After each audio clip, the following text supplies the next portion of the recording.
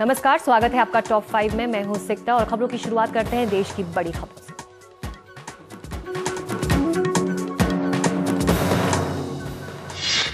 2011 से देश भर के सभी बोर्ड 11वीं और 12वीं में मैथ्स और बायो ग्रुप में एक ही सिलेबस लागू करेंगे। अभी सीबीएसई, आईसीएसई और राज्यों के 30 से ज़्यादा बोर्ड अपने अपने हिसाब से मैथ्स और बायो की पढ़ाई तय करते हैं जिसे इंजीनियरिंग और मेडिकल की ऑल इंडिया परीक्षाओं में बराबरी की प्रतियोगिता नहीं हो पाती। ऐसा होने के बाद देश भर में मेडिकल और इंजीनियरिंग के लिए कॉमन एंट्रेंस टेस्ट कराया जा सकेगा।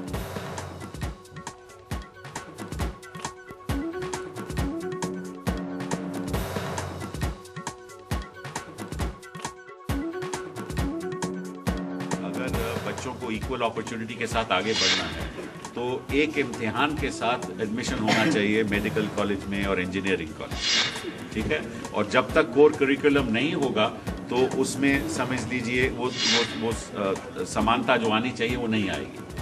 एक एक क्योंकि अगर आप डिफरेंट सिलेबस के साथ बच्चों को कहोगे इम्तिहान में बैठो तो उनकी इक्वालिटी ऑफ़ अपॉर्चुनिटी नहीं रहेगी। हमने सारे स्टेट बोर्ड्स को लिखा as a part of cope से कि वो जो उनका करिकुलम है साइंस और मैथ सब्जेक्ट्स का, उसमें वो क्या एडिशन और डिलीशन चाहते हैं? उन्होंने वो सुझाव हमको दिए। उन सुझावों को एक्सपर्ट कमेटी ने यहाँ पे बैठ करके देखा कि किस तरीके से सामंजस्य स्थापित किया जा सकता है कि एक कोर बने जो कि सारे के सारे स्टेट बोर्ड्स और नेशनल बोर्ड्स ले सके। और अब सीधे चलते हैं हमारे संवाददाता हृदय जोशी के पास। हृदय जो छात्र ये खबर सुन रहे हैं, उसको, उन लोगों को आप इस वक्त क्या बताइए?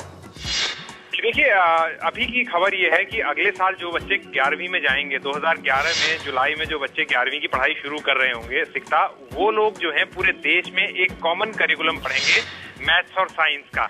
और वो चारों सब्जेक्ट जो हैं, जो मैथमेटिक्स फिजिक्स केमिस्ट्री और बायोलॉजी इन चारों करिकुलम जो है, जो हमारे पास इस वक्त उपलब्ध हैं, वो करिकुलम जो है, वो पूरे देश में एक से पढ़ाए जाएँगे। उसका मतलब ये होगा कि अब जो है, एक लेवल प्लेइंग फ़ील्ड हो गया, चाहे वो यूपी बोर्ड का हो, बिहार बोर्ड का हो, या मध्य प्रदेश बोर्ड का हो, या फिर सीबीएसई आईसीएसई बोर्ड का हो, वो बच्चा मैथ्स और साइंस की एक ही चीज़ पढ़ रहा होगा, एक ही करिकुलम पढ़ रहा, एक ही पाठ्यक्रम पढ़ रहा होगा।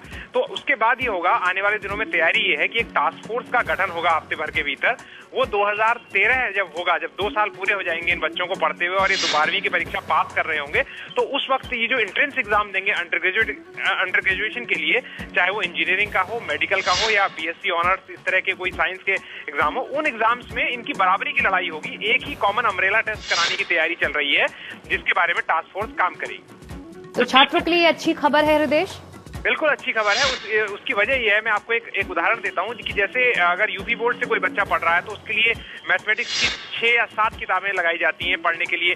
लेकिन जब आ, वही सीबीएसई आईसीएसई में होता है तो उसके लिए बहुत एक बहुत ही व्यवस्थित पाठ्यक्रम होता है और उसके लिए उतना आ, कई सारी चीज़ें उसे नहीं कवर करनी पड़ती।